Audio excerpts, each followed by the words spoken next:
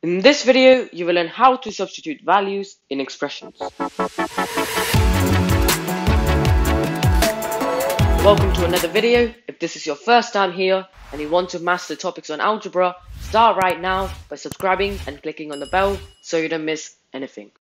So let's have a look at algebra substitution. So substitution in algebra just means replacing the letters with numbers. So if you have an example such as what is the value of the following expression if y equals 8, all you're going to do is to replace all of the y's in this expression with 8 because it says what is the value of the following expression if y equals 8. So that means all of these y's we have right here in this expression basically equal 8. So we need to substitute the 8 for these both y's we have in this expression, which is y plus 7y. So let's first substitute the 8 and then let's move to the second one, which is 7y. So now, for the 7y, however, 7y is the same as 7 times y. Because it's the same as 7 times y, when you replace this y, you're going to get 7 times 8. So whenever you have a multiplication such as 7y, you're always meant to expand it when you substitute. Otherwise, if you don't expand it, you're going to be left with 78, which is not right. Instead, you have to expand it to 7 times y, and then you can substitute this y. So we have 7 times y, and when you substitute this y, basically going to get 7 times 8. The next thing we have to work this question out, and we have 8 plus 7 times 8. Thing to remember, in this case we have to use BIDMAS. If you guys want to know more about BIDMAS, I've got a video on BIDMAS. Go check the video out. The link is in the description below. So we have 8 plus 7 times 8. You have to first do 7 times 8 because multiplication is higher up than addition in BIDMAS or in the order of operation. So 7 times 8 will give you 56 and then you have to add this 8 and then 8 plus 56 will give you an answer of 64. So that means your answer to this question is 64.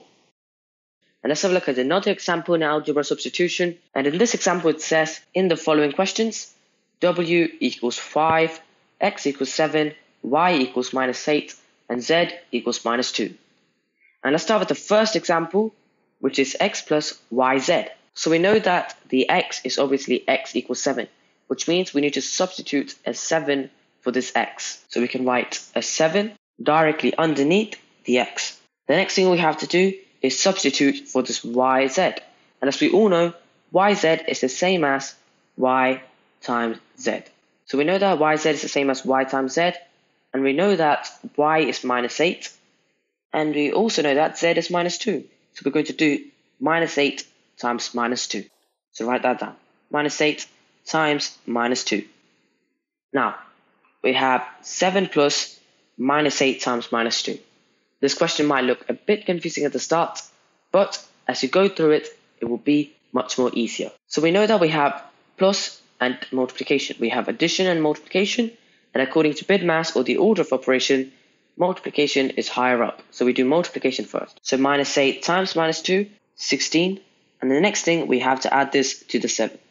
7 plus 16 will give you an answer of 23, which means our answer is 23. Let's have a look at another example, such as x minus y plus w, x minus y plus w. We know that x is 7, so substitute the 7 for the x, and we know that the y is minus 8. So write down the minus 8 as well.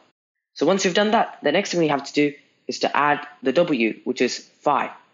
So we have to do plus 5.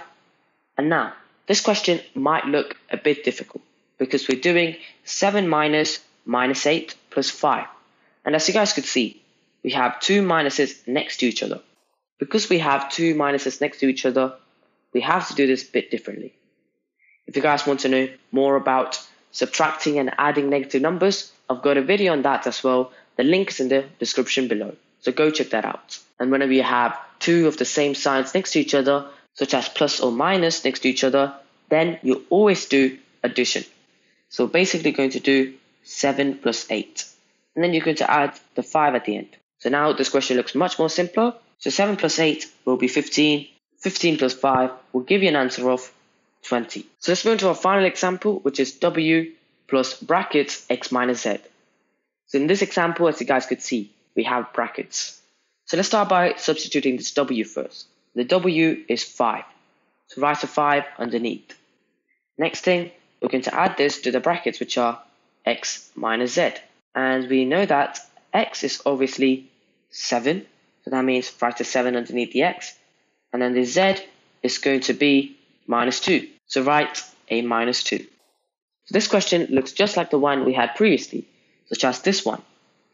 So the same rule applies once again. So we have 5 plus brackets 7 minus minus 2. We know that brackets is at the top when it comes to order of operation, so you do brackets first. And whenever you have two of the same signs next to each other, whether it's plus or minus, then you're always going to do addition.